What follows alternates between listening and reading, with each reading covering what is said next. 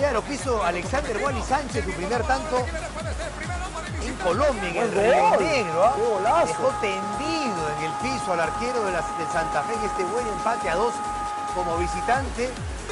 El Río Negro empató frente al, San- al poderoso Santa Fe en Colombia, fecha 14.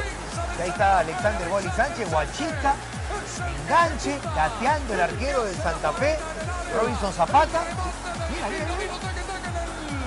Gol del peruano Wally Sánchez. El Santa Fe es el actual campeón, no, es el campeón del año pasado de la Sudamericana, El equipo de Gustavo Costa. o sea, del 2015.